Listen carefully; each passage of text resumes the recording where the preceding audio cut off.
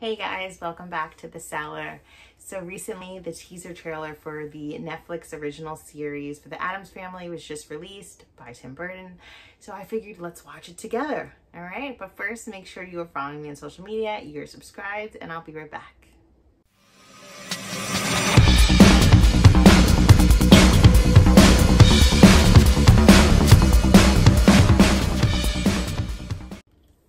Right, so let's watch this teaser trailer.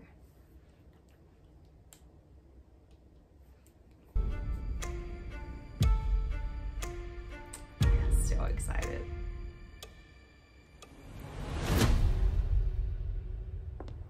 How woefully presents.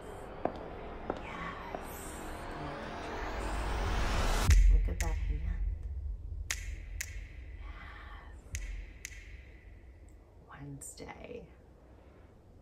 Okay, that was quick, but that was awesome. All right.